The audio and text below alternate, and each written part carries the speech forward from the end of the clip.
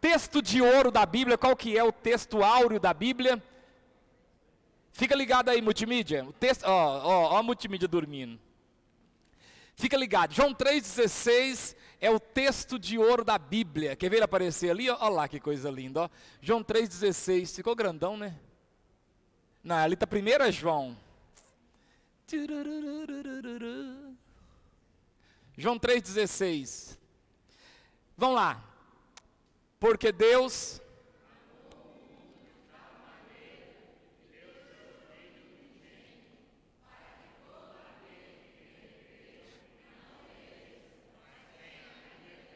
Mais uma vez.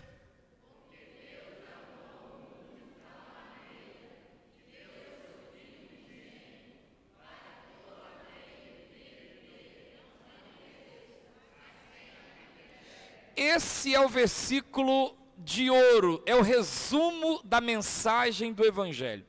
Evidentemente, ele não tem todas as doutrinas expressas nele, mas não existe um outro versículo na Bíblia que contenha no mesmo versículo tanta informação útil como esse versículo. Esse versículo ele é de certa forma o resumo do evangelho. Ele tem tudo ali, guarda o nome do homem para mim aí. Ele tem tudo ali. Ele tem tudo ali. Embora não tá tudo que o evangelho é aqui.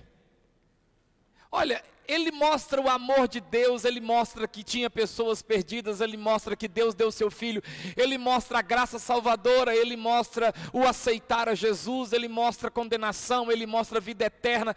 Esse versículo, alguém já disse que se acabasse, que se perdesse todos os manuscritos, só esse versículo aí já dava para você ter uma noção assim sobre o plano de Deus em relação ao homem perdido. Porque ele traz toda uma verdade sobre toda uma verdade sobre o projeto de Deus em relação ao homem perdido. É claro que ele não tem tudo, ele não mostra tudo, mas não existe um outro versículo na Bíblia que, sendo só ele, tenha tantas verdades dentro dele, igual esse texto aí. Ele pode ser tido como o versículo de ouro, o texto áureo da Bíblia Sagrada, porque ele demonstra ali as verdades necessárias em relação a Deus, o homem e a salvação. Ele é o resumo do Evangelho, como alguns já dizem. Quando a gente fala Evangelho, a gente precisa primeiro entender o que, que é Evangelho. A palavra Evangelho, ela vem do grego evangelion. E esse termo evangelion significa boa nova, boa notícia. O termo, ele não é, ele não é um termo restrito à pessoa de Jesus. Ele era um termo que já era usado pelos gregos naquela época. Imaginemos que duas nações, dois povos estão em guerra. Isso aconteceu várias vezes. Então aqui você tem os líderes, você tem os soldados, você tem os comandantes, oficiais. Do outro lado também você tem esse mesmo grupo de gente e embaixo você tem uma planície, um lugar onde as tropas elas irão se enfrentar.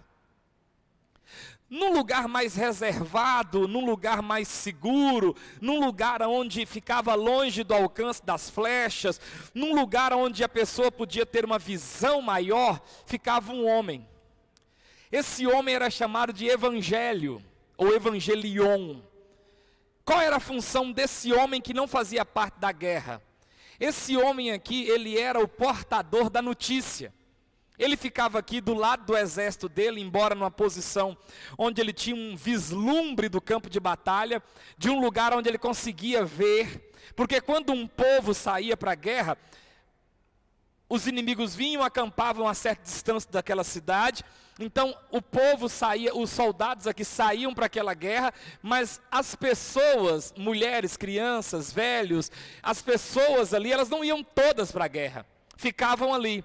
Então todo mundo ficava naquela tensão, porque não tinha televisão para mostrar o campo de guerra, porque não tinha organização das Nações Unidas para tentar fazer com que os guerreiros não atirassem nos civis.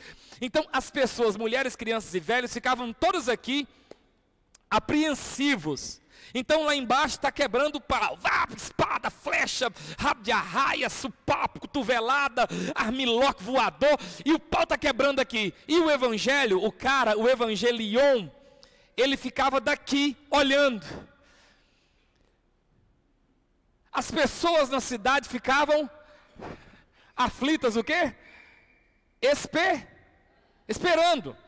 Dependendo do resultado da guerra, o Evangelion, esse homem que era um cara que geralmente corria muito bem, e a história fala o nome de um, Fidípides, que foi um homem que, que ele foi o evangelho numa guerra entre a cidade de Maratona e Atenas, foi isso mesmo? Confere aí meu assessor de púlpito. Ele, teve, ele foi o, o evangelho das, de uma guerra entre a cidade de Maratona e, e, a, e Atenas, se eu não me engano. Foi uma guerra chamada Primeira Guerra Médica, 490 a.C. Esse Fidípides, ele correu 200 quilômetros para chamar uma, uma, uma, uma cidade para ajudar na guerra. A cidade ficou enrolando para dar resposta, ele veio correndo para trás e ficou ali esperando a guerra acontecendo, o trem acontecendo, e quando de fato eles ganharam a guerra, ele saiu correndo 42 quilômetros, é por isso que a maratona tem 42 quilômetros, e ele corre então 42 quilômetros, aí fala o que ele falou, o que ele falou? Ele falou o quê? Está para baixo aí. Isso, a resposta dele foi: Segundo conta, Fidípides recebeu de Milcíades a ordem de correr os 42 quilômetros, 250 estádios que separavam a cidade de Maratona da cidade de Atenas, a fim de comunicar a vitória grega, após tê-la anunciado com a frase: Alegrai-vos, atenienses, nós vencemos. Ele caiu morto devido ao esforço que havia feito, porque correu 242 quilômetros em menos de uma semana. Quem é o Evangelion? O Evangelion era esse cara. Era o camarada que ficava no lugar estratégico, esperando o resultado da luta, para poder correr para a cidade e dizer: fujam, salve-se, o nosso exército perdeu. Essa era a notícia ruim. Mas também o Evangelion, no caso Fidípides, o mais famoso, ele poderia levar a seguinte mensagem, e foi a que ele levou: Alegrai-vos, atenienses, nós vencemos a guerra e caiu morto. O que, que é o Evangelho? O Evangelho, quando Jesus vai dar esse nome, ele tem essa pessoa na mente. Uma pessoa que vai trazer uma, uma notícia, uma notícia. Mas o desejo das pessoas que estão esperando é que a notícia seja boa. Porque se nós estamos em guerra, a Lagoa da Prata está em guerra contra a formiga, e nós estamos aqui todos arrumados já para fugir. Tudo arrumado para fugir, mas tem um camarada, Fidípides, é o camarada que tem a função de ser o evangelho porque não tem WhatsApp, não tem Facebook, não tem televisão, não tem nada. Alguém tem que falar isso. Então nós estamos aqui olhando para olhando a direção da guerra, todos aflitos, esperando aquele homem chegar. E quando aquele homem vem correndo, nós ainda não sabemos qual é o resultado, qual é a resposta que ele vai nos dar. Essa era a pessoa. As pessoas ficavam assim: meu Deus, o que, que ele vai falar? O que, que ele vai falar? O que, que ele vai falar? E se ele chegasse e falava: corre! Foge, perdemos a guerra, os inimigos estão vindo, junte o que puder e vaza, porque os inimigos vão matar homens e mulheres, crianças e vão acabar com tudo. Ou a notícia seria: alegrai-vos, vencemos a guerra. Essa pessoa, esse evangelho, ele era esperadíssimo. Todo mundo ficava esperando. Teve guerra, a pessoa que eles estão esperando é o evangelho. Porque ele trazia notícia. Quando Jesus começa a pregar a sua mensagem, ele vai dar o nome dessa mensagem de Evangelho.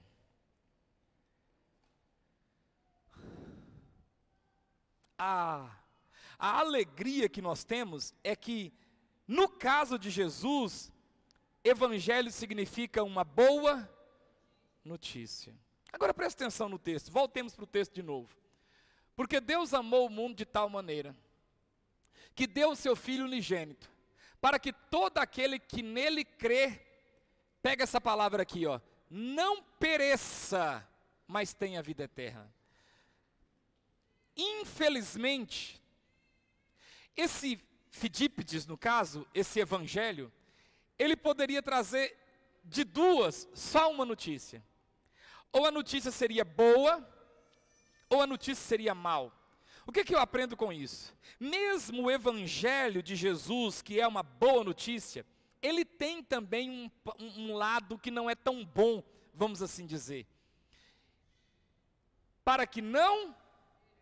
Então o que, que eu aprendo é que existe uma triste possibilidade de perecer. Existe um perecimento, existe uma possibilidade de perecer. Quando ele apresenta o versículo 16, ele diz: Eu vou fazer tudo isto para que vocês não pereçam, mas entenda, há possibilidade de que alguns venham a perecer. Se Deus me der graça, eu quero ficar nesse versículo esses quatro domingos de janeiro. E quero falar sobre ele de algumas formas. E a primeira de hoje eu quero falar isso. Não pereça. Diz para o irmão assim, ó, não pereça. Fala para ele, você não precisa perecer. Já foi pago um preço, você não tem necessidade nenhuma de perecer. Não pereça. Não pereça. Mas existe possibilidade de perecer. É por isso que ele apresenta esse plano salvífico, porque existe um perecimento. Ele não quer que eu pereça, mas pode acontecer de alguns perecerem. E é exatamente sobre isso que eu quero falar. Não pereça, com uma exclamação bem grandona embaixo, do lado assim, não pereça. Tuf. E quando a gente vai falar sobre não pereça, a gente precisa perguntar primeiro o que, que é perecer.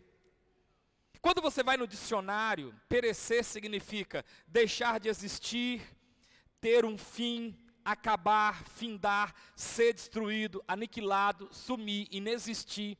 Isso é perecer. Só que o dicionário, ele não é tão honesto com a gente. Porque preste atenção, falando da Bíblia, né? Se perecer fosse deixar de existir, valeria a pena continuar no mundo. Porque eu vou continuar no mundo aprontando, aprontando, aprontando, chega um momento que tuf, acabou morreu, acabou. Não teria sentido eu me santificar. Não teria sentido eu tentar andar com a vida reta. Porque acabou. De acordo com o dicionário, perecer é acabar. Perecer é ter fim. Perecer é chegar um momento que inexiste. É chegar um momento que acabou, pôs um ponto final. Isso é o que os dicionários explicam sobre perecer. Mas preste atenção, não é essa a concepção da Bíblia sobre perecer. Quando a Bíblia fala de perecer, ela não fala de morreu, acabou. Quando a Bíblia fala de perecer, ela não fala sobre é, aniquilação. Quando a Bíblia fala sobre perecer, ela fala sobre morreu, começou. Na Bíblia, perecer não é morreu, acabou. Na Bíblia, perecer, morreu, começou. Porque, na verdade, o máximo que nós vamos viver aqui, eu acho que a pessoa que mais viveu nesse tempo nosso aí foi cem, cento e poucos anos, não se compara cento e poucos anos com um negócio que se chama eternidade. E perecer na Bíblia não é um negócio que acaba quando morre. Pelo contrário, começa quando morre. E eu queria pensar um pouco com vocês então sobre esse tema, não pereça. E para entender esse tema eu preciso pensar o que, que é perecer. Bom, João 3,18, vamos lá nos versículos. João 3,18: perecer é estar julgado e condenado. João 3,18 diz: quem nele crê não é julgado. O que não crê já está julgado, porquanto não crê no nome do unigênito Filho de Deus. Próximo texto. Então nós percebemos aqui que quem nele crê não é julgado, mas quem não crê já está julgado, já está condenado. Perecer então é ser condenado eternamente. João 3,36 vai dizer também que perecer, perecer em João 3,36 é estar debaixo da ira de Deus. Por isso, quem crer no Filho tem a vida eterna. O que todavia se mantém rebelde contra o Filho não verá a vida, mas sobre ele, presta atenção na palavra, permanece a ira de Deus. Perecer é ficar permanentemente debaixo da ira de Deus. Perecer é estar perpetuamente debaixo do castigo de Deus. Apocalipse capítulo 14, versículo 10, também o apóstolo João, que é o autor, diz que perecer é tormento ardente. Olha o que diz lá em Apocalipse 14, versículo 10. Também esse beberá do vinho da cólera de Deus, preparado sem mistura do cálice da sua ira, e será atormentado com fogo e enxofre diante dos santos anjos e na presença do Cordeiro. Presta atenção, o que, que é perecer? Ele fala também este que vai perecer, ele beberá do vinho da cólera de Deus, preparado. Esse vinho da cólera de Deus não será diluído, não tem mistura, não tem alívio do cálice da sua ira e será atormentado com fogo e enxofre. Perecer, segundo Apocalipse, é um tormento ardente de fogo e enxofre. É um tormento ardente de um cálice de ira que não tem mistura. Não coloca um diluente no cálice da ira. Não coloca água para ficar ralo. É do jeito que Deus vai fazer e fim de papo. Perecer também, segundo Tessalonicenses, versículo 1, capítulo 1, versículo 9, perecer é separação da glória de Deus. Estes, os que perecerão, sofrerão penalidade de eterna destruição, banidos da face do Senhor e da glória do seu poder. Essa palavra banidos é uma palavra que carrega um peso tão terrível tão terrível que até em filmes, quando você vê a pessoa ser banida, é uma pessoa que é melhor ela ter morrido, é melhor ela perder a vida, ser banido, ser. Esses sofrerão penalidade de eterna destruição, banidos da face do Senhor. Irmãos, não tem coisa melhor do que sentir a presença de Deus e o antônimo é igualmente proporcional. Não existe coisa pior do que não sentir a presença de Deus.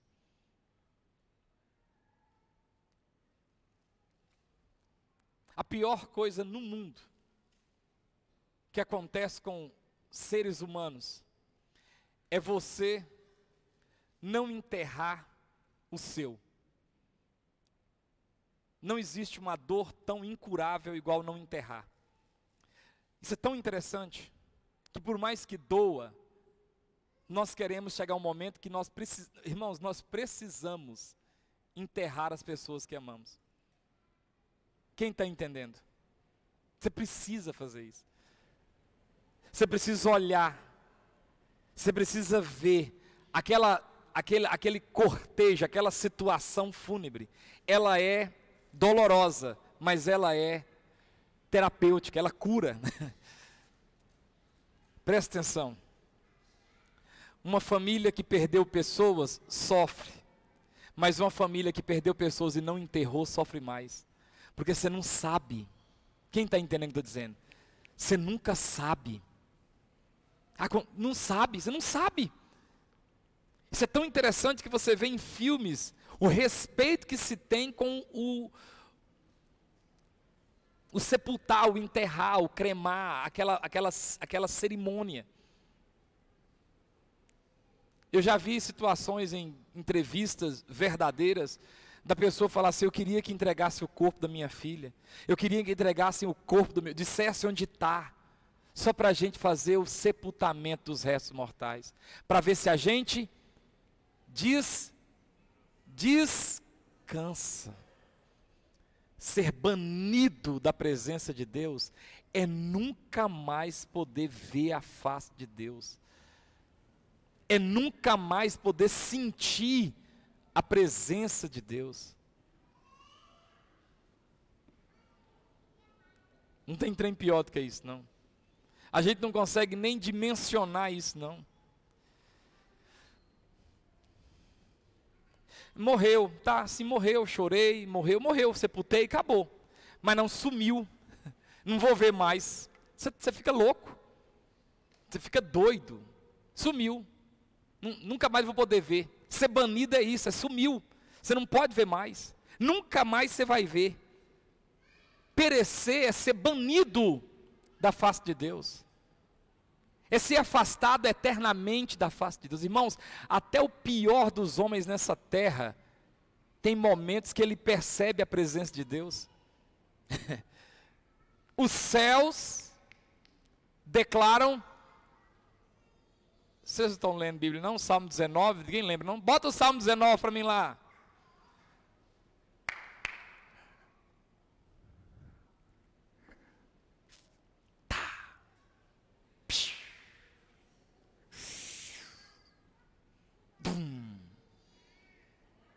Salmo 19. Quando eu não falo nada, é um. Os céus e o firmamento. Número dois. Um dia e uma noite.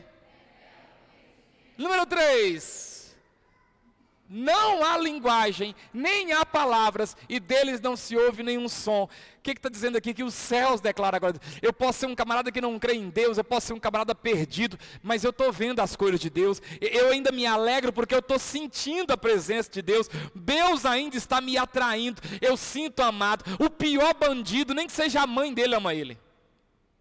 Então ele consegue sentir coisas de Deus na vida dele.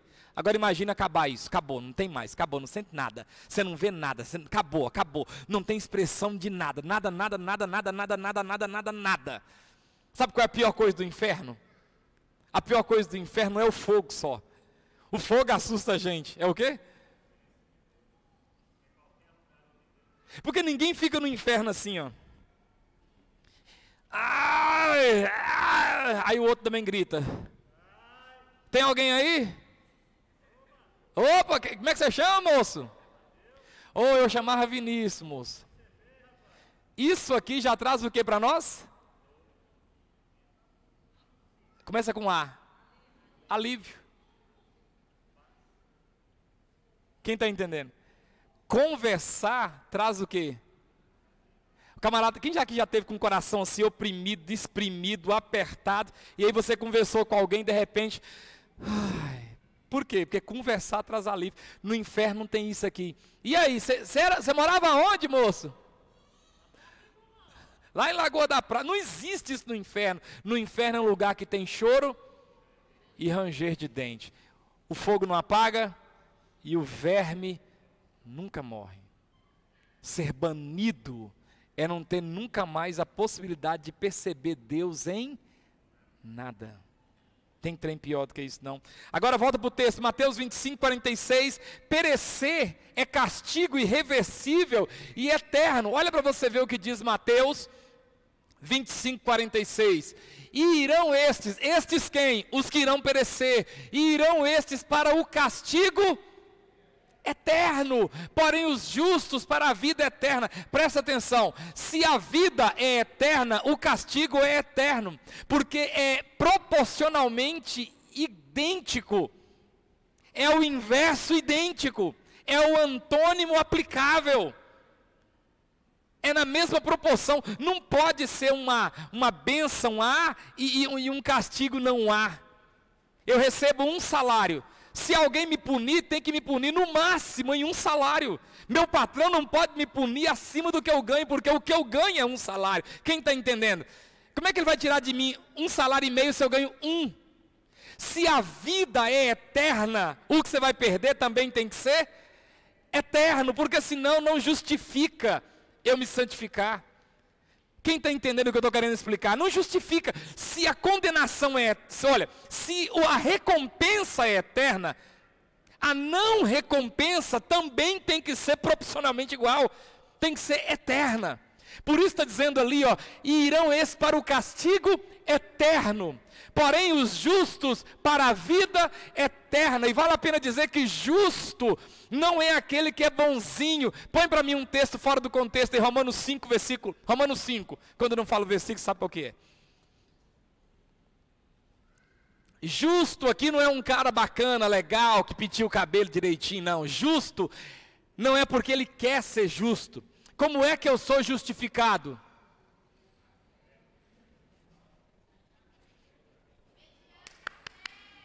Um, dois, três.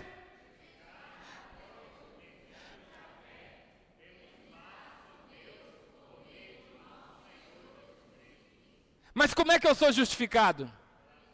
Justificados, pois, mediante a fé, temos paz com Deus por meio, de Jesus, por meio do sangue de Jesus. Esse, esse, volta no primeiro, volta no texto lá de Mateus 25, 46. Aquele justo do Mateus 25, 46, não é um justo porque eu sou justo, aleluia, glória a eu, não. É um justo porque eu fui justificado pelo sacrifício de Cristo. Por isso que os justos, os que foram justificados, não porque eles são melhores, mas porque eles foram justificados por meio do sacrifício de Cristo, então eles terão a vida eterna. Não são justos porque são bons, porque estudaram em escola particular, porque são brancos, caucasianos, dos olhos azuis e cabelos castanhos. Não, eles são justos porque Jesus morreu na cruz e justificou eles quando eles se entregaram a Ele. O que é perecer? Lucas 16, 26. Perecer significa ser separado por um abismo intransponível. Olha o texto de Lucas 16. E além de tudo está posto um grande abismo, presta atenção, entre nós e vós. Existe um abismo intransponível, olha o intransponível lá, ó, de sorte que os que querem passar daqui para vós outros não podem, nem os de vós outros passar para nós, não podem, nem daqui para lá e nem de lá para cá, é um abismo intrans. Eu posso ficar daqui, pai Abraão, Pede a Lázaro que molhe no dedo a água e ponha na minha língua. E Abraão responde: Não dá porque está posto entre nós um abismo intransponível, de maneira que se nós daqui quisermos ir para aí, não podemos. De maneira que se vocês daí quiserem vir para cá, também não podem. Perecer é ser separado por um abismo intransponível. Não tem nada de morreu, acabou. É mentira. Não existe esse negócio de morreu, acabou. Existe o negócio de morreu, começou. Quem perecerá? Isaías 59. Quem vai perecer? Bom, eu já sei que existe um perecimento. Eu já sei que existe uma condenação. Eu já sei que existe uma dor. Eu expliquei com alguns textos características do que, que é perecer. Agora surge uma pergunta: quem vai perecer? O Isaías 59. 59. O Isaías 50. Está tá tudo no texto aí, mulher, que eu te dei. O Isaías 59, versículo 1 vai dizer assim: O povo estava apelando com Isaías. Cadê Deus? Cadê Deus que não, é, que não, que não ajuda a gente? Nós estamos aqui sofrendo nas mãos dos inimigos. Cadê Deus? Será que Deus está com as mãos é, encolhidas, atrofiadas? Será que Deus está surdo, que Ele não escuta a nossa oração? E o profeta Isaías então disse: Eis que a mão do Senhor não está encolhida, eis que a mão do Senhor não está atrofiada, para que não possa salvar nem surdo o seu ouvido para que não possa ouvir. Versículo 2. Mas as vossas iniquidades fazem separação entre vós e vosso Deus, e os vossos pecados encobre o seu rosto de vós, para que vos não ouça. Deus não está com a mão encolhida, Deus não está com os ouvidos entupidos, é o pecado que está separando. Quem vai perecer? Quem vai ser separado de Deus? O que é que separa a gente de Deus? Diga comigo, pecado. É o pecado. O pecado nos separa de Deus. Mas aí surge uma pergunta, Romanos 3, 23, quem pecou mesmo? Já que o pecado é que separa a gente de Deus, então a próxima pergunta é, quem foi que pecou? E Romanos 3, 23 vai dizer assim, todo mundo junto, um, dois, três...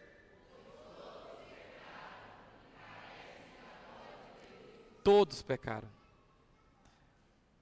Mas aquele menininho bonitinho pecou. E essa princesinha que está aqui, pecadorazinha, se não for ensinada nos caminhos do Senhor, vai para os caminhos errados naturalmente. Ah, mas não acredito. Pode acreditar. Se você não ensinar, ela nunca vai aprender a comer de boca fechada. Naturalmente, ela vai comer de boca aberta. Você não precisa ensinar ela a mentir, ela mente sozinha. Eu nunca sentei com o Vinicim e falei assim, ó, vou te ensinar você como é que mente.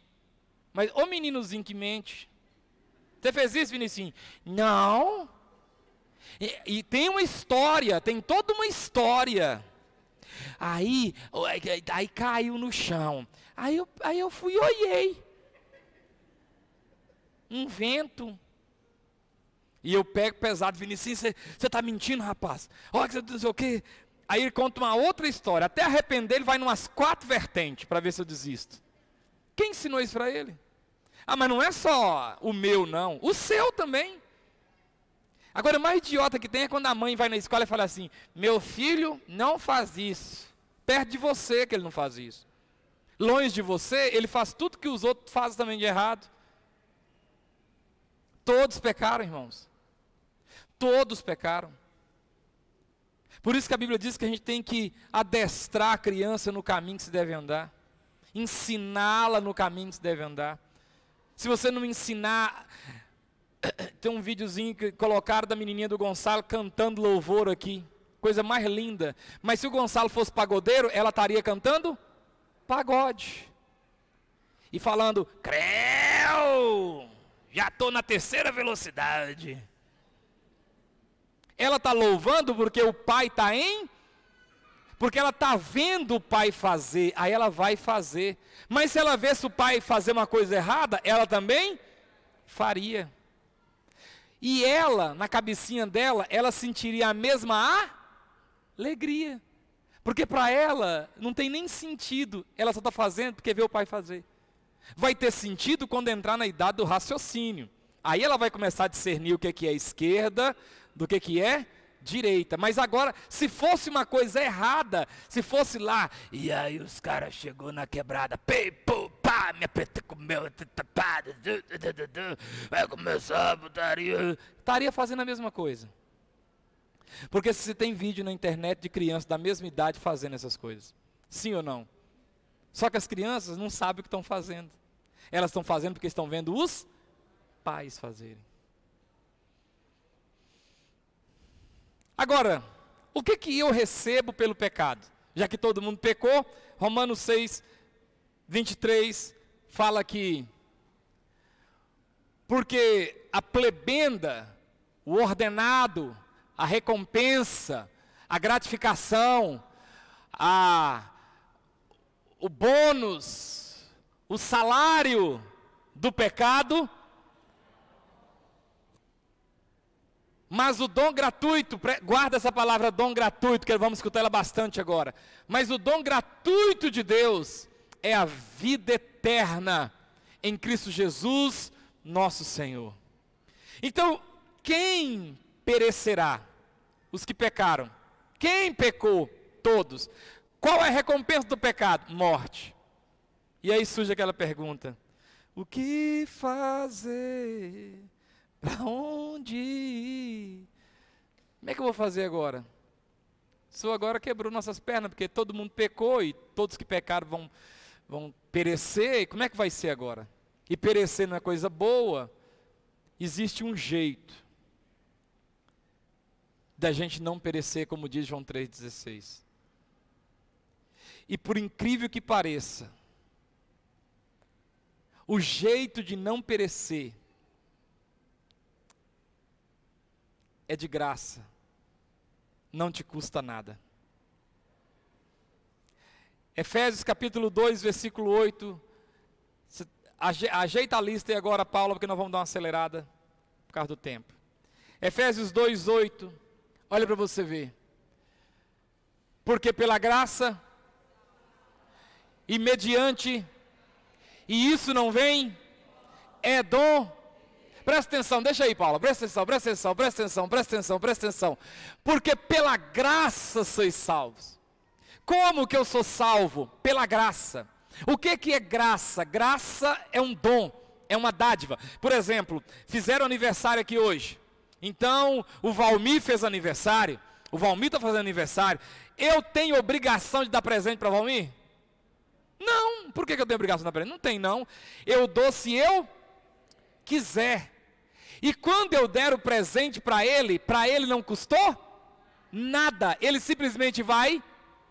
E ele também não tem que pagar, porque também não me pediu. Eu estou dando porque eu quero. A única coisa que ele tem que fazer é estender a mão e receber o presente. Nada mais do que isso. Ele estende a mão, pega o presente, me dá uns tapinhas nas costas, abre escondido. O coração dele vai dizer: Ah, é só isso? Ou vai dizer: Uau! É, vai depender do presente. Mas o presente é de graça. A salvação é o presente gratuito de Deus. Por isso que nós vamos ver ali, ó, porque pela graça sois salvos, e isso é mediante a fé, e isso não vem de vós, é dom de Deus. Agora presta atenção, essa salvação, versículo 9, Paula, não de obras, porque se fosse de obras, alguns iriam se gloriar, porque nós temos capacidades diferentes uns dos outros. Talvez se a salvação fosse por fazer uma flexão, só vai ser salvo quem fizer flexão. Deixa eu ver aqui quem é bom de flexão pela olhada aqui. Cadê um atleta aqui? Deixa eu ver. Guilherme. o Guilherme. A salvação é pela flexão? Então tá. Uma. Mas talvez se pegasse um que faz bastante exercício aqui, conseguiria fazer 100. Aí no final a gente ia ser salvo, aí um olhava para o outro e falou assim: Você foi salvo por quantas flexão? Cara, eu fiz uma morrendo. Eu fiz uma quase colocando os bofs para fora. Aí a pessoa que fazia muito fala assim: Eu fiz 100.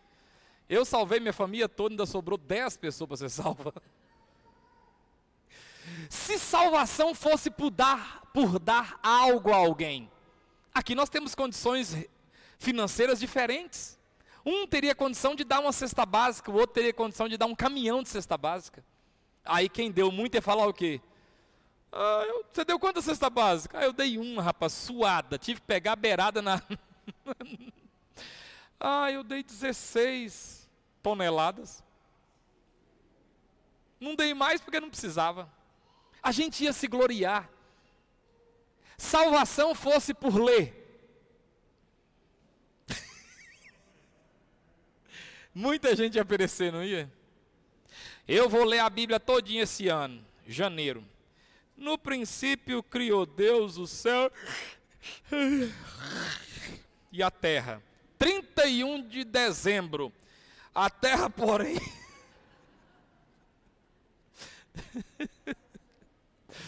Mas tem gente que senta e lê um livro de 800 páginas brincando. Ó, oh, os calhamaços. Se salvação fosse por isso, quem lê muito e olhar para quem lê pouco e falar assim: Você leu a Bíblia esse ano, irmão? Moço, li Gênesis 1, versículo 1, rapaz. 365 dias para me ler esse versículo. Aí eu li a Bíblia quatro vezes esse ano. A pessoa ia fazer o quê? Siglou? Mas presta atenção. Volta lá, no 2, no 8. Presta atenção pela graça sois salvos. E isso não vem de vós.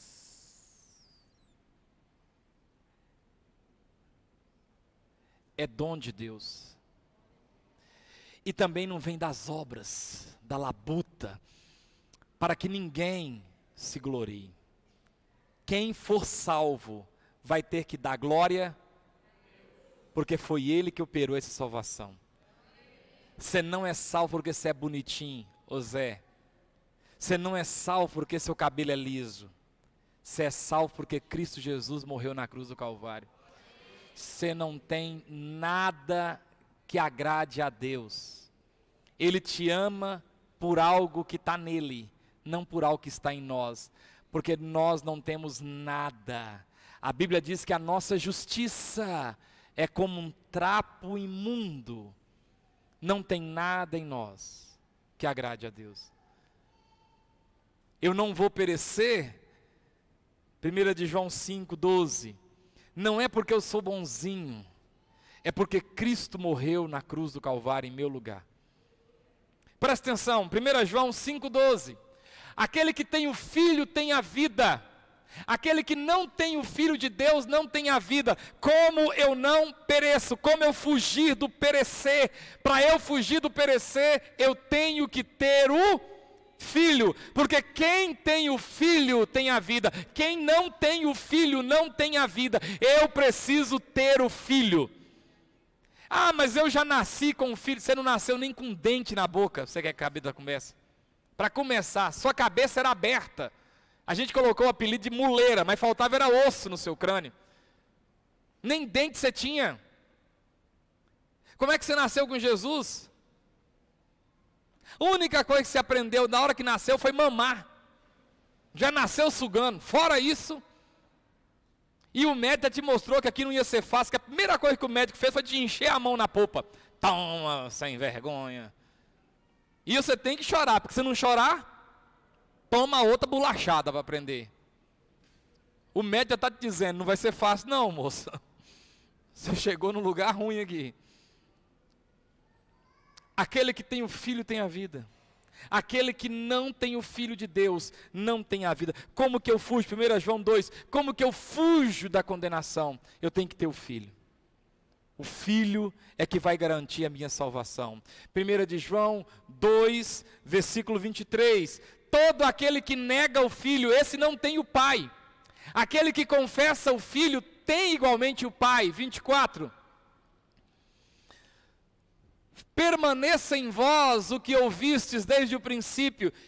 Se em vós permanecer o que desde o princípio ouvistes, também permanecereis vós no Filho e no Pai. Como que eu fujo da condenação eterna? A palavra é permanecer. Não tem esse negócio de servir a Jesus dez meses, dez anos, quarenta anos e de desviar. Ah, eu já fiz demais. Não, você tem que, para você não perecer, você tem que permanecer. E para permanecer, você precisa de algumas coisas que eu sempre falo aqui na igreja. E que equilíbrio. Ninguém permanece no desequilíbrio. Todo desequilibrado acaba desanimando no, comer, no, no, no caminho. Isso é em tudo. Case com a pessoa. Eu não vou falar com os que casam, não, vou falar com os que namorem. Namore com a pessoa pensando em casar. Uma pessoa que não vive sem você. E você vai ver que inferno vai ser sua vida quando você casar. Porque uma pessoa que não vive sem você é um inferno. Eu não vivo sem você. Isso é pior declarar, é a declaração mais psicopata que existe. Tá ficando doido? Você não vive sem mim? Tá amarrado, hein? Oa, vaza fora. Tiver casado, ora a Deus. Se estiver namorando, vaza. Porque uma pessoa que não vive sem você, se um dia você pensar em romper esse namorado, esse namoro, você está lascado ou lascada. Equilíbrio. Existe uma coisa importante na vida para você permanecer na vida cristã: equilíbrio. Equilíbrio. Nem tanto ao mar, nem tanto à terra. Equilíbrio tem que ser equilibrado, equilibrado na sua fé. Aí eu vou ler a Bíblia toda, começar hoje, só vou parar de ler quando eu acabar de ler a Bíblia. Eu não lê. Não, esse ano eu começo ler 15 capítulos nos dois primeiros dias do ano e acabou. É melhor você ler dois por dia. É melhor você ler um por dia. Vou fazer jejum 60 dias direto, faz dois dias, esquecendo que e comendo pão de queijo e cuspindo, todo, todo jejum. Quando eu estudava no seminário, a gente dormia lá no, no, no, quarto, lá no alojamento, E aí tinha um camarada, hoje ele é pastor também. Na hora de dormir, ele. A gente. Homem dorme de cueca. Homem que se preza, dorme de cueca. Arranca logo toda a cuecona velha, frochelenga. Homem, ele negócio de, ai, que eu vesti aqui meu. meu Essa que é fanta. Ah, que tem um, eu tenho um calçãozinho de, de, seda que eu ponho, tem uma camisa, tem um tapumezinho que eu ponho aqui, um cremezinho anti-ruga, aí faço uma massaginha aqui na nuca. Ah. Isso aqui, o I. É até cabeludinho por fora, mas por dentro tem uma frutinha. A gente dormia de cueca, que tanto de, de homem dormindo de cueca, mas tinha um lá que não. Ele dormia de calça e camisa. Porque se Jesus voltasse, como é que faria? E ele pegava no pé da gente. Não, porque você fica aí dormindo de cueca aí, Jesus chega, como é que vai? Jesus chega, você fica. E a gente ficava discutindo lá. É, mas e se na hora que Jesus chegasse, estiver lá bem com a sua mulher lá de boa, como é que faz? Jesus larga você? E se Jesus chegasse estiver tomando banho? E se Jesus chegasse estiver mandando fax para Faraó, como é que faz? Jesus não vai vir? Porque em todo momento alguém está fazendo isso. Em todo momento. Haja o tanto de menino que tem. Dá para você ver pelo tanto de menino que tem na igreja. Como é que vai fazer? Mas ele era irredutível, não pode, tem que ser aquela santidade, aquela coisa tal absurda. Moral. Desviou. Ficou no mundo um tempão. Aí depois de muito tempo, depois de aprontar bastante, voltou para o evangelho e tal, e tal, e tal, hoje está pastoreando. Mas eu quero dizer o seguinte: a, a, os colegas da gente, que era normal, nunca caiu, continua até hoje. Nunca desviou. Repara para você ver, muito rígido. Não, porque não, não pode. Não, isso também não pode. Não, porque não sei o quê. E, e santarrão demais. A maioria desvia. A maioria tem um trem escondido porque não consegue manter um equilíbrio. A palavra aqui, meus amados e queridos e muito preciosos no Senhor, é permanecer. Eu não consigo permanecer se eu não tiver com equilíbrio. E agora converteu, e agora já não pode ver mais jornal, e agora já não pode mais estar com a família, porque a família é de Satanás, porque tem jeito da família que bebe, porque eu tenho parente que fuma, porque esse povo é do mal, e daqui a pouco desvia. E daqui a pouco não é nada. E daqui a pouco é uma vergonha. Porque não tem equilíbrio. Meu irmão, converte e vai ler um livro secular. Converte e vai fazer um curso.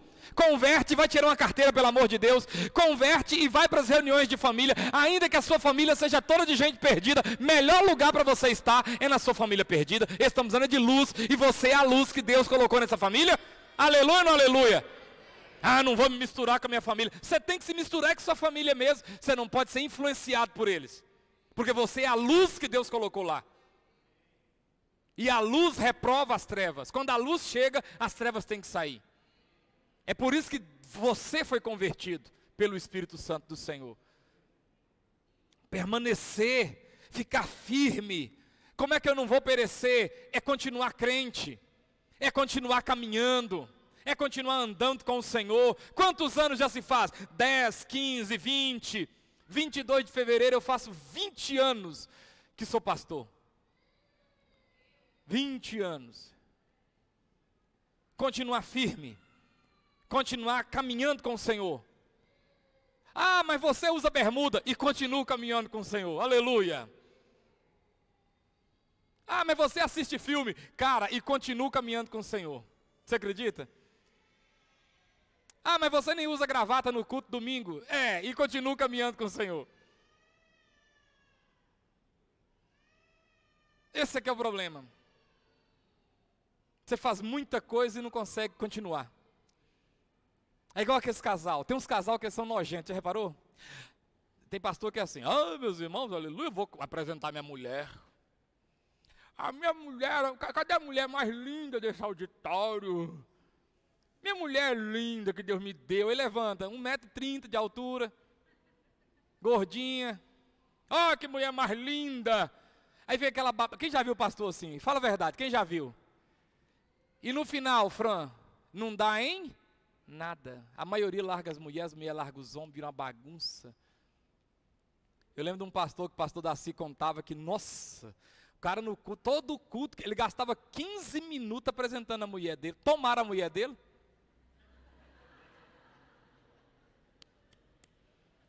Quinze minutos, minha, mulher, minha mulher, que essa mulher minha, essa mulher linda. Cadê minha mulher linda?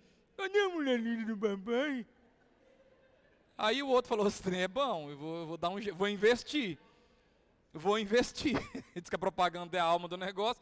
Tomaram a mulher do pastor, tadinho. Caladinho. Ó, Valmir, ó. Pss, boquinha de siri. Como é que eu faço para não perecer? João 1. João, não primeira. 1. Versículo de número 11. João 1, 11. Como é que eu faço para não perecer? Veio para os que eram seus, e os seus não receberam. Doze.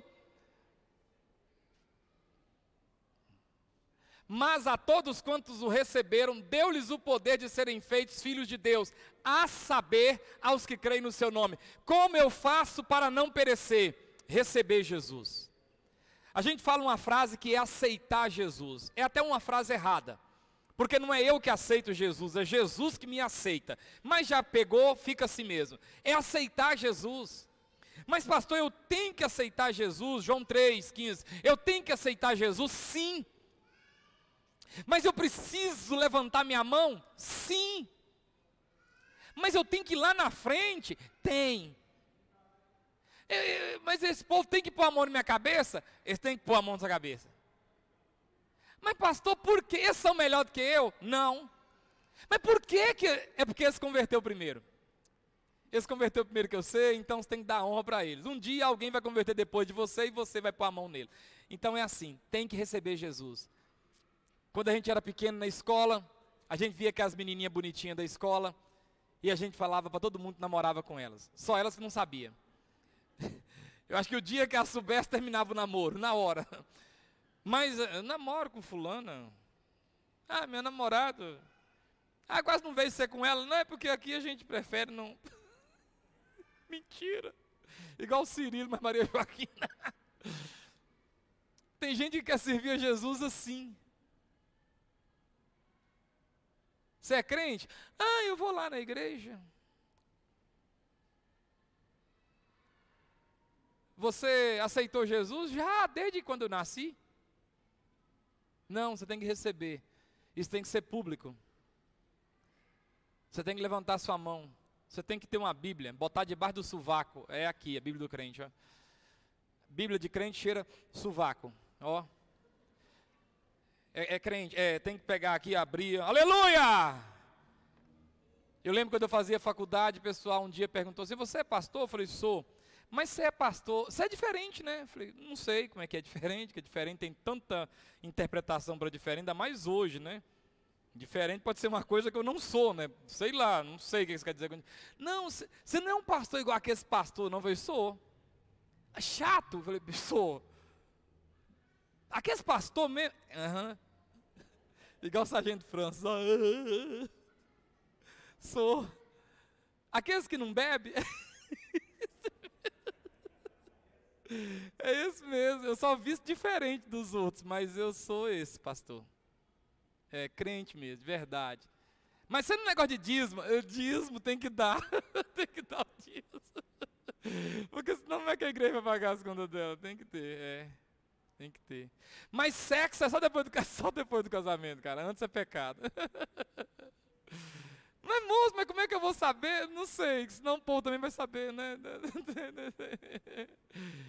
Mas vai vir aí Mateus, Jorge Mateus estava no auge na época. Você vai? Não, não, não. Jorge Mateus para mim é cantor do mundo. O que, que é cantor do mundo? É que não canta para Jesus.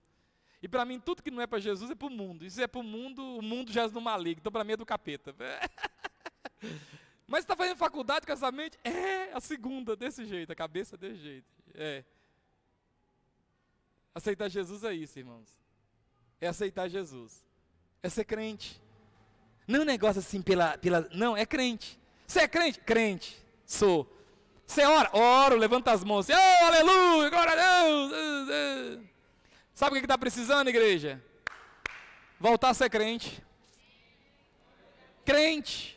O que, que você é? Crente. Usa uma bermuda decente, usa uma camisa legal, mas sou crente. Creio em Jesus, fala aleluia, dou glória a Deus, fala, está amarrado em nome de Jesus. É, creio na oração, é crente. Crente é isso. Isso é ser crente. Eu tenho que. Cadê? Já botou o texto, né? Vamos lá para o texto então. Para que todo aquele que nele crê tenha vida eterna. João 5,24. Eu tenho que crer em Jesus. João 5,24. Deixa eu acelerar que meu tempo já acabou. Em verdade, em verdade vos digo que quem ouve a minha palavra e crê naquele que me enviou tem a vida eterna. Não entra em juízo, mas passou da morte para a vida. Como eu faço para sair da morte para a vida? Ouvi a palavra. Escuta, irmãos. Eu fico admirado de crente que não ouve pregação, crente que consegue ficar domingo sem vir na igreja. Você tem que ir para a igreja, irmão. Você tem que ouvir a pregação da palavra. Você não pode ficar sem ouvir a pregação da palavra. Tem que abrir a Bíblia mesmo. Tem que ficar aqui olhando, olhando. Olha, vou, vou marcar isso aqui. Olha que texto legal, vou marcar aqui. Nossa, glória a Deus. Ouvir a palavra. Não é ficar o tempo todo mexendo em telefone, mandando zap, mandando. Não, eu tenho a hora. Salomão falou que existe um tempo para todo o propósito debaixo da terra. Agora é a hora de eu ouvir a palavra. Eu não quero saber aqui de nada, eu quero saber da palavra. Nós somos uma igreja, eu estou falando dessa, que eu tenho responsabilidade com essa. Nós somos uma igreja que preocupamos em pregar a palavra. Pode ser cansativo, pode ser, mas eu tento pregar, tento fazer de uma forma que você entenda. Eu faço do jeito mais simples para o doutor e o incauto entender o que eu estou falando faço teatrinho. Ah, tem quem critica. Na internet é cheio de gente criticando. Que você poderia fazer. Ah, vai te catar, vai cuidar da sua vida, vai pastorear a sua igreja para lá. Ah, virar pastor e fazer do seu jeito. Deixa eu fazer do meu. De quando Eduardo me mostra, ah, criticar aqui, vai, quero saber de criticar. Não, vai. Só critica quem não faz nada.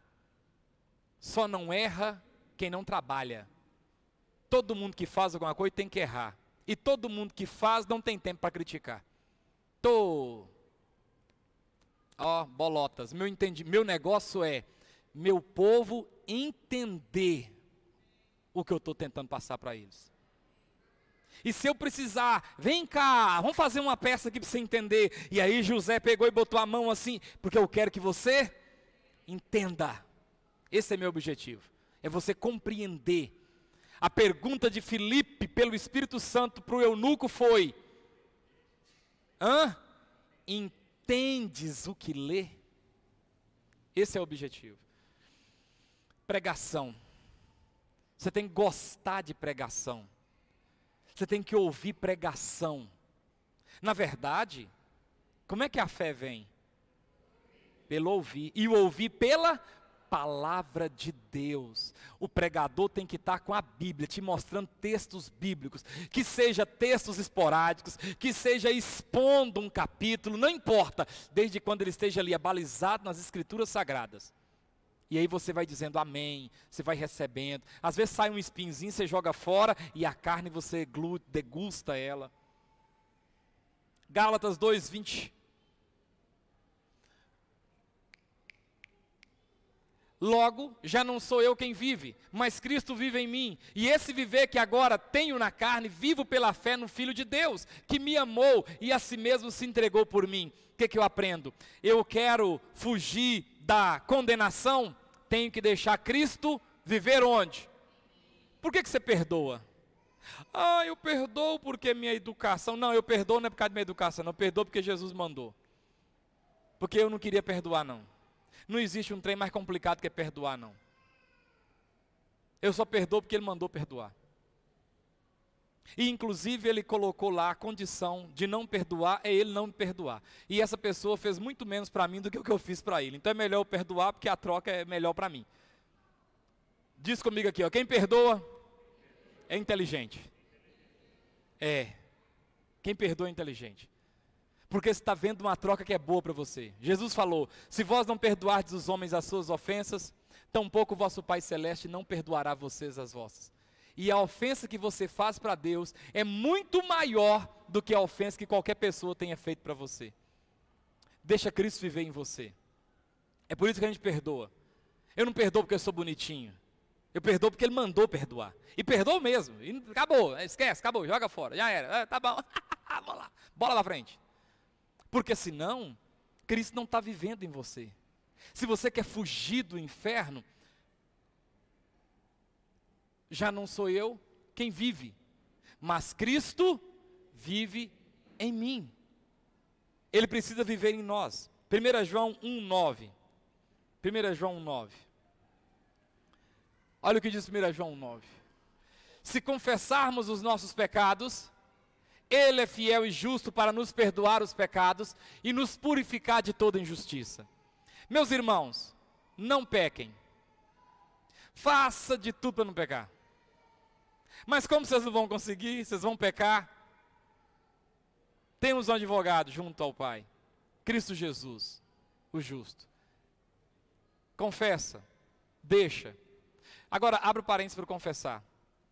Não vai sair contando sua vida para todo mundo, não.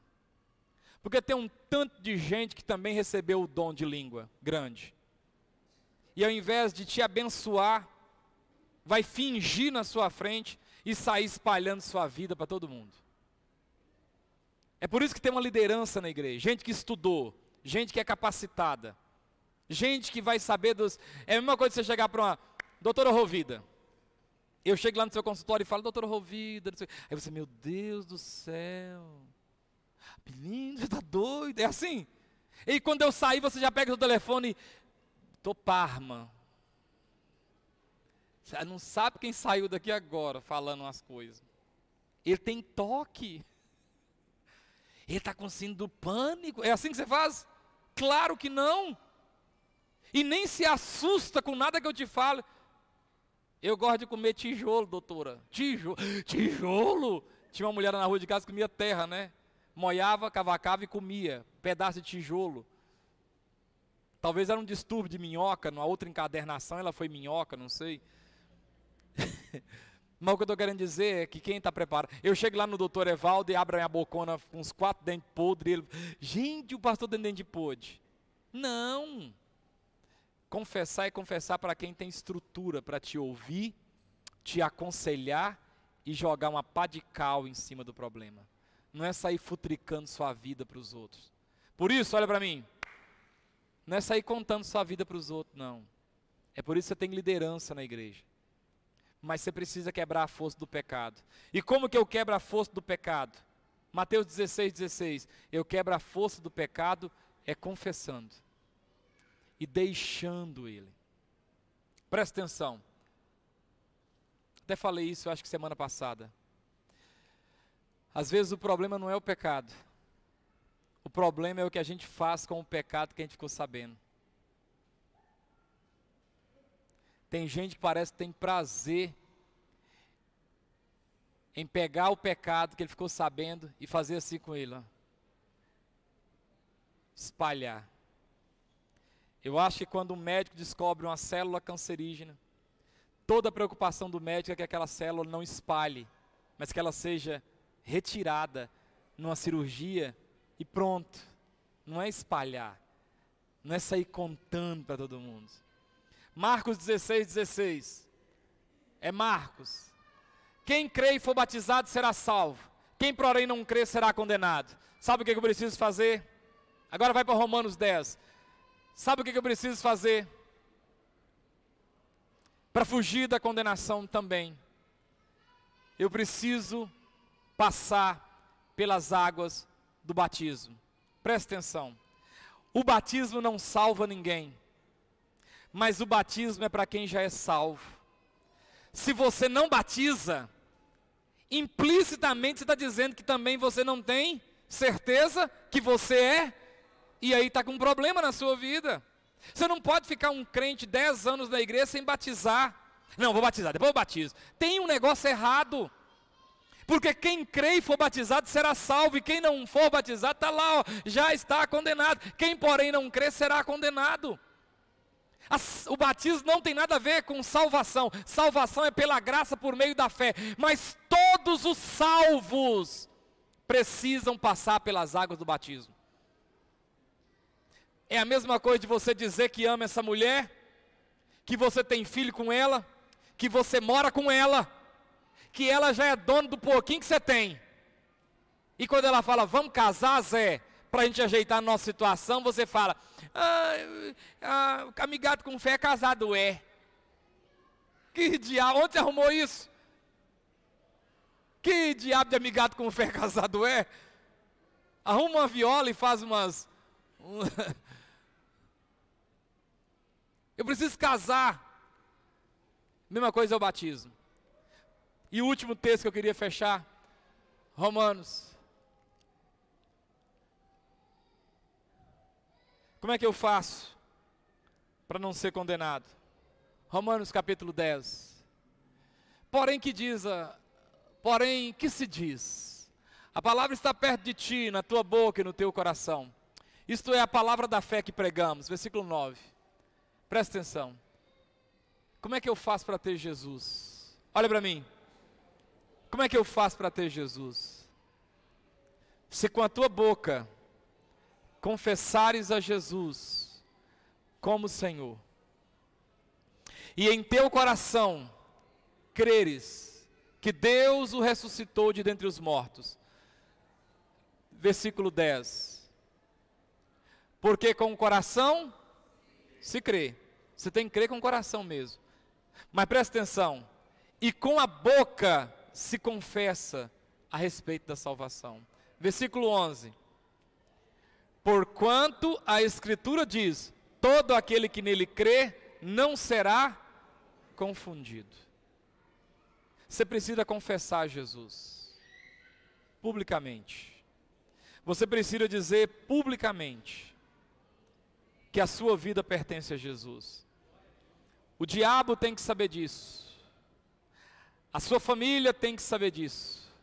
Todos precisam saber que você aceitou Jesus como Senhor e Salvador. Você precisa firmar um compromisso com Ele. Tem que confessar. Você tem que falar. Isso precisa ser público.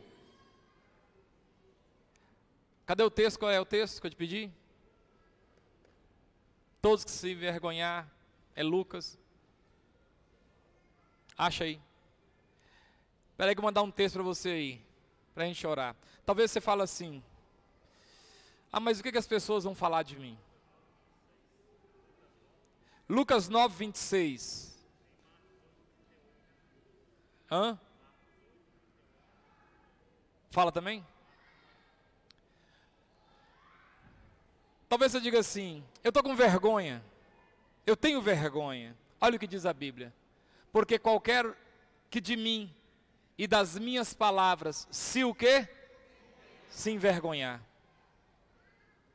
Dele se envergonhará o Filho do Homem, quando vier na sua glória e na do Pai e dos santos anjos.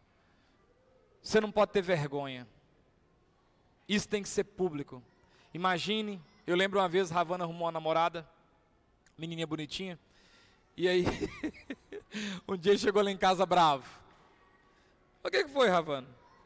Ah, aquela menina tá de onda comigo. Eu falei, por quê? Vai, eu falo com ela, vamos tomar um sorvete? Vamos.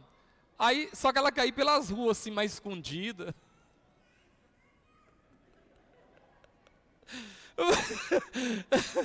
e, e, eu não sei se você sabe, o pretinho é, é ele é cismado. Você tem que tomar muito cuidado com o pretinho, porque qualquer coisa que você fizer com o pretinho, ele cisma. Aí desravando com as duas vezes, vamos tomar um sorvete, fulana? Vamos. Aí ele queria ir pela Avenida Brasil e ela queria ir pela São Paulo, sei lá. Pela... Quando foi um dia, ele chegou lá, falou, vamos na sua casa, vamos. Chegou lá e falou assim, ó, tá aqui, agradeceu a mãe, tô aqui, tô lá em casa, acabou. Você tá ficando é doido. Você tá com eu estou entendendo que você está com vergonha de mim. E se você está com vergonha de mim, aqui para você, ó. Não, não é isso não. Para mim é. e o que vale é o que eu entendi. Para mim é isso e acabou. Você nunca faz isso com o neguinho, não, que o neguinho fica duro na queda. Deixa eu te contar uma coisa aqui. Se Ravane achou ruim, imagina Jesus. Imagina você com vergonha de Jesus. E, e, e o legal é porque, pegando o exemplo do Ravane, né, a moça consegue dizer, não, não é isso não, e ele ainda pode ficar na dúvida. Mas como é que eu faço isso com Jesus? Jesus conhece o meu? O meu? Eu posso falar com a minha boca, não, Senhor. E ele fala assim: é sim, eu já sondei seu coração. Quem lembra daquele texto, fica de pé. Ainda palavra não me chegou, e tu conhece todas. Eu quero fazer um convite essa noite, já estou acabando. Tem alguém nessa noite que quer confessar Jesus como seu Senhor e o seu Salvador? Tem alguém nessa noite que quer entregar sua vida para Jesus? Se existe alguém nessa noite que quer confessar Jesus como seu Senhor, levante sua mão e nós vamos orar por você. Vamos abençoar a sua vida. Aleluia, glória a Deus. Acompanha aí o Tim. Existe uma segunda pessoa nessa noite que quer entregar sua vida para Cristo. Você está chamando para quê, pastor? Para virar crente? É, para aceitar Jesus.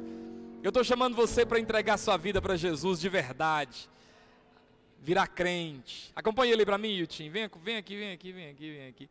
Existe mais alguém nessa noite que quer entregar sua vida para Jesus? Vem assim mesmo. Quem? Oh, glória a Deus. Acompanhe ela aí também. Venha. Existe mais alguém nessa noite que quer aceitar Jesus como Salvador, como Senhor da sua vida? Glória a Deus. Se existe, não tenha vergonha ah, o que, que vão pensar de mim? Eu estou nem aí o que, que vão pensar de mim. Acompanha.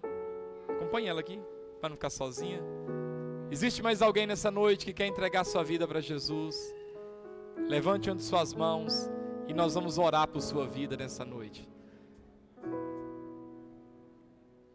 Às vezes a gente tá doido para ir, mas parece que fica um capetinho do lado dizendo assim: não vai não, vai não, que está chegando carnaval.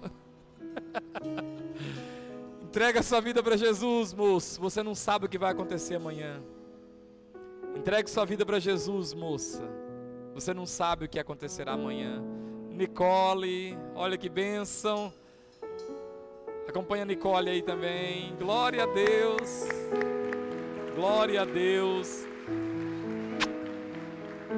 Aleluia. Existe mais alguém? Vem cá acompanhar sua filha aqui, ó. Oh! Aleluia!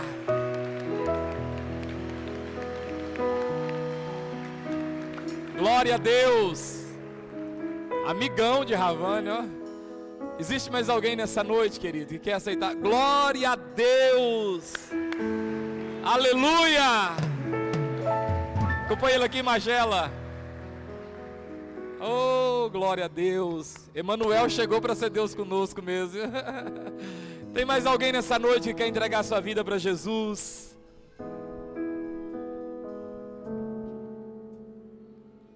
Levante sua. Oh, aleluia! E o Tim, pega o microfone ali. Microfone para você orar. Acompanhe ela aqui. Uma mulher aqui. Um, dois, três, quatro, cinco. Existe uma sexta. Oh, aleluia, rapaz. Olha aí que bênção. Deus é bom o tempo todinho. Olha mais um ali, o Anthony. Acompanha aí, Jonas. Glória a Deus. É a melhor escolha que vocês estão fazendo na vida. Existe mais alguém nessa noite que quer, talvez você já aceitou, mas quer reconciliar. Você andou meio aí no Natal, tomando uma canjibrina, está meio afastado do caminho do Senhor.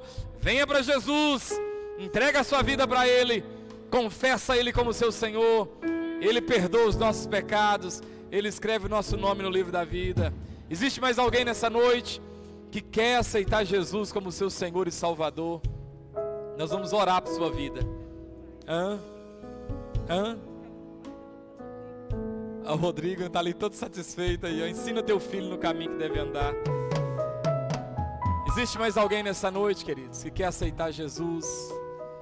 Aleluia. Isso é crente velho. Isso aí tem 200 anos de crente. Está orando. Você é pai da Tuliana, isso aí tem 300 anos de crente, já tem é filho pastor. Tem mais alguém nessa noite, queridos? Oh, a sogrona também, vem cá acompanhar, vai.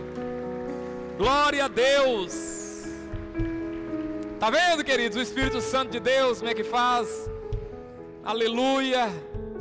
Glória a Deus. Família. Tem mais alguém nessa noite que quer aceitar Jesus como seu Senhor e Salvador?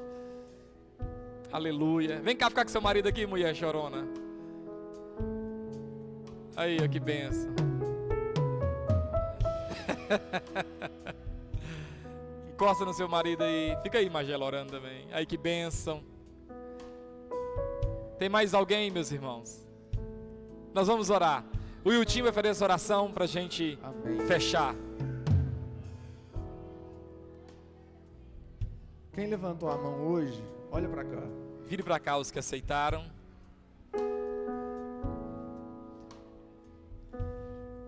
Pela pregação de hoje, eu acredito que vocês entenderam que você não veio aqui à frente hoje porque você fez alguma coisa. Você veio aqui porque Jesus te chamou. Aleluia! E derramou sobre essa, essa derramou essa noite sobre você a graça, o maior presente que nós ganhamos em nossa vida. Aleluia! Porque isso vale para essa vida e para a vida eterna. É o maior presente que você pode receber nessa noite. Isso causa alegria para a sua família isso causa alegria no céu.